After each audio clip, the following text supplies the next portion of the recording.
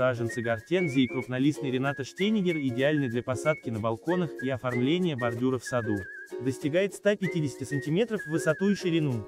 Гортензия Рената Стейниджер будет радовать пышностью своих объемных соцветий, около 20 см.